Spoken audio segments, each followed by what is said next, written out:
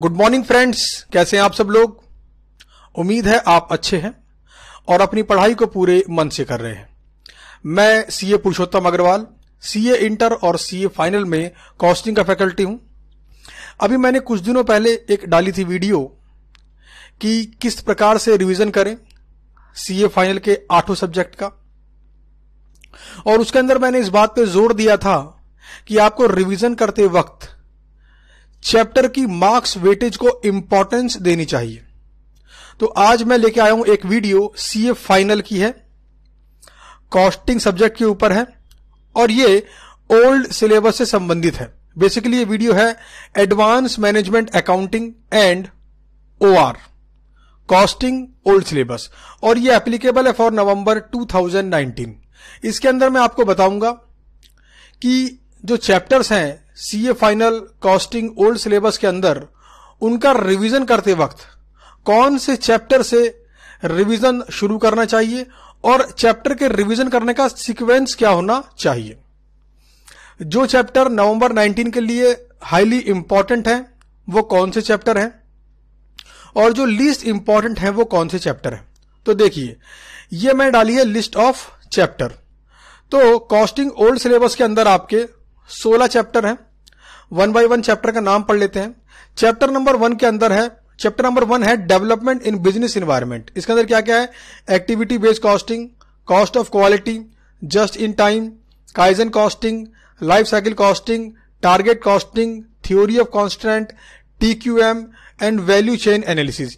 ये सारे पॉइंट, ये सारे पॉइंट्स के ऊपर एग्ज़ाम में इस चैप्टर से क्वेश्चन आता है। सेकेंड चैप्टर है आपका डिसीज़न मेकिंग। थर्ड चैप्टर है प्राइसिंग डिसीज़न फोर्थ है बजट फिफ्थ है स्टैंडर्ड कॉस्टिंग सिक्स है costing of service sector seventh है ट्रांसफ़र प्राइसिंग एट्थ है uniform costing and interfirm comparison ninth है प्रॉफिटेबिलिटी एनालिसिस इसके अंदर क्या क्या आता है?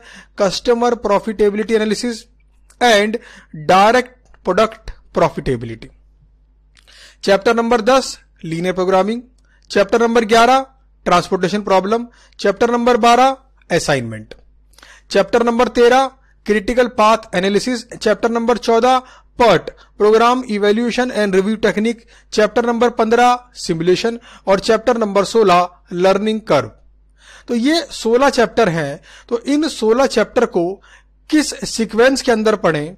इनमें से कौन से वो चैप्टर हैं जो कैटेगरी ए में आते हैं? वो कौन से चैप्टर हैं जो कैटेगरी बी में आते हैं और वो कौन से चैप्टर हैं जो कैटेगरी सी में आते हैं? इसके बारे में हम आज बात करेंगे। तो देखिए, ये जो मैंने बनाया है एनालिसिस ये लास्ट ट्वेल्व अटेम्प्ट में आए हुए क्वेश्चन पेपर के ऊपर बेस्ड है। जैसे मैं एक चैप्टर नंबर वन की बात करता हूँ। Chapter number one development in business environment पिछले 12 अटेम्प्ट में से 12 बार इस चैप्टर से एग्ज़ाम में क्वेश्चन आया ही आया है। इससे क्या समझे? चैप्टर हाईली इंपॉर्टेंट है। नवंबर 19 के लिए कैटेगरी ए में डाला है। अब चेक करते हैं इसकी मार्क्स की रेंज क्या रहती है। तो देखिए, कम से कम 14 नंबर और अधिक से अधिक, मैक्सिमम है 34 मार्क्स। यानी 14 मार्क्स से 34 मार्क्स के बीच में क्वेश्चन के मार्क्स वेरी करते हैं। अब प्रीवियस टू अटेम्प्ट में क्या सिचुएशन रही? तो देखिए, नवंबर 18 में इस चैप्टर से 20 नंबर का क्वेश्चन आए थे। अब ये एक क्वेश्चन 20 नंबर का नहीं है, दो क्वेश्चन या तीन क्वेश्चन भी हो सकते हैं। जून में इस चैप्टर से 28 नंबर का 28 नंबर के क्वेश्चन आए हैं। तो देखिए, नवंबर में 20 नंबर के और जून में 28 नंबर के। तो चैप्टर वन पिछले 12 अटेम्प्ट में से 12 के 12 बार एग्ज़ाम में आया है। इसीलिए इस ट्रेंड को ध्यान में रखते हुए क्या कहते हैं आप? ये चैप्टर नवंबर 19 के लिए इंपॉर्टेंट है या नहीं है? डेफिनेटली ये बहुत इंपॉर्टेंट चैप्टर है। तो इसको मैंने कैटेगरी ए में डाल दिया। और एक्सपेक्टेड मार्क्स मैं उम्मीद करता हूँ कि नवंबर 19 के अंदर इस चैप्टर में से 20 नंबर तक की कवरेज आपके पेपर में आपको मिलेगी। यह आपका chapter number one development in business environment ऐसे ही मैं बात करता हूँ chapter number two. Chapter number two क्या है आपका? चैप्टर नंबर टू है आपका डिसीज़न मेकिंग के ऊपर। पिछले 12 अटेम्प्ट में से 12 बार इस चैप्टर से क्वेश्चन आया है।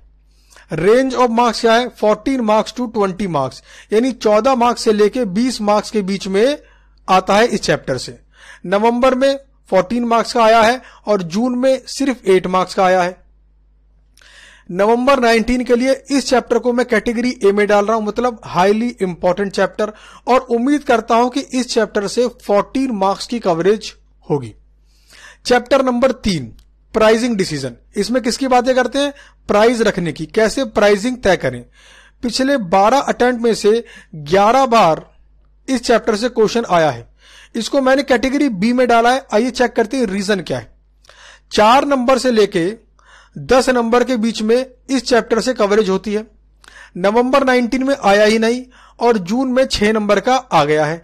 तो मैंने इसे कैटेगरी बी में डाला है और उम्मीद करता हूँ कि इस चैप्टर से छह नंबर का क्वेश्चन आपको एग्ज़ाम में मिलेगा।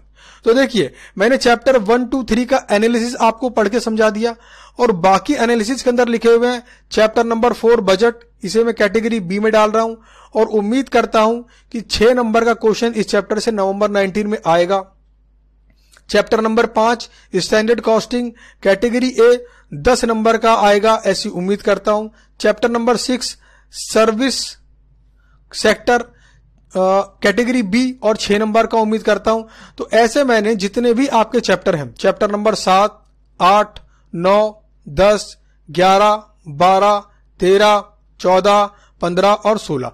सारे के सारे सोलह चैप्टर की, सभी की मैंने कैटेगरी और उनसे जो एक्सपेक्टेड मार्क्स मैं उम्मीद करता हूँ नवंबर 19 के एग्ज़ाम में मैंने यहाँ पे लिख दिए दस नंबर, चार नंबर चार नंबर, छह नंबर छ छ चार छ पाँच पाँच। तो यह है पूरा एनालिसिस अब देखिए, इसका इंपैक्ट क्या पड़ा? अब मैंने निकाले हैं कैटेगरी ए में कौन कौन से चैप्टर आ रहे हैं। तो कैटेगरी ए के अंदर आने वाले चैप्टर की संख्या है चार चैप्टर। चैप्टर नंबर वन इसमें आता है, चैप्टर नंबर टू इसमें आता है, चैप्टर नंबर फाइव इसमें आता है और चैप्टर नंबर सेवन इसमें आता है। कहने का मतलब है, जब जब आप CA final costing old syllabus की रिवीजन शुरू करें तो सबसे पहले इन चार चैप्टर को आपको रिवाइज करना है और इनको भरपूर टाइम देना है। अगर आप 30 दिन का रिवीजन प्लान बना के बैठे हैं कॉस्टिंग का, जो कि मैंने आपको सजेस्ट किया है तो आप मैक्सिमम टाइम यानी हो सके तो 12 से 15 दिन आप इन चार चैप्टर को दो 12 से 15 तो इसको देना है मैक्सिमम टाइम कैटेगरी ए वाले चैप्टर को। फिर कैटेगरी बी में रखे मैंने दस चैप्टर अब ये दस चैप्टर कौन कौन से हैं? चैप्टर नंबर तीन, चार चैप्टर नंबर छह चैप्टर नंबर नौ, दस, ग्यारह, बारह, चौदह, पंद्रह, सोलह। ये सभी चैप्टर क्या है? Category B chapter category A chapters को कंप्लीट करने के बाद आप आएँगे कैटेगरी बी चैप्टर्स की रिवीजन की तरफ़। अब इन दस चैप्टर में कौन सा चैप्टर आपको पहले करना है, इसको आप डिसाइड कर सकते हैं, उसमें कोई प्रॉब्लम की बात नहीं है। आपका मन करता है कि पहले ट्रांसपोर्टेशन करूँ तो पहले ट्रांसपोर्टेशन कर लो। आपका मन करता है पहले बजट करूँ तो पहले बजट कर लो। ये बेसिकली क्या है कैटेगरी बी कैटेगरी बी में डाले हैं, और ये दस चैप्टर कैटेगरी बी के अंदर आते हैं। कैटेगरी सी में डाले मैंने दो चैप्टर, एक क्रिटिकल पाथ एनालिसिस और एक यूनिफॉर्म कॉस्टिंग तो आखिरी में इन चैप्टर को आप रिवाइज करना। अगर आपके पास टाइम कम बचता है तो कैटेगरी सी वाले इन दोनों चैप्टर्स को आप स्किप भी कर सकते हो। कोई दिक्कत की बात नहीं है। तो ये दिया मैंने CA final costing subject old syllabus का पेपर ओल्ड सिलेबस का पेपर में जो मार्क्स वाइज वेटेज है चैप्टर की, उसका पूरा एनालिसिस। तो ये क्या है? Marks wise weightage of chapters for November 19 ये जो पीडीएफ फ़ाइल आपको दिख रही है, जिसके ऊपर मैंने चित्रकारी बनाई है, ये पीडीएफ फ़ाइल आपको यूट्यूब वीडियो के डिस्क्रिप्शन के अंदर मिल जाएगी। तो वहाँ से इसे आप डाउनलोड कर लें और अपनी रिवीजन को आप इस पर फोकस रखें। कैटेगरी ए वाले चैप्टर्स को पहले रिवाइज करना है, उन्हें भरपूर टाइम देना है, उनकी टाइम में कंजूसी नहीं करना है। कैटेगरी बी वाले को उससे थोड़ा कम टाइम देना, यहाँ पे टोटल टाइम की बात कर रहा हूँ, और कैटेगरी सी वाले चैप्टर अगर टाइम नहीं मिलता है, तीस दिन के अंदर नहीं मिल पाया कैटेगरी सी के टाइम तो दोनों चैप्टर को आप स्किप भी कर सकते हैं। तो उम्मीद करता हूँ आपको ये एनालिसिस काफ़ी अच्छा लगा होगा, और आपको समझ में आया होगा कि आखिर रिवीजन करना किस सीक्वेंस के अंदर है। तो चलिए मिलते हैं फिर आपसे अपनी अगली वीडियो के अंदर। Thank you.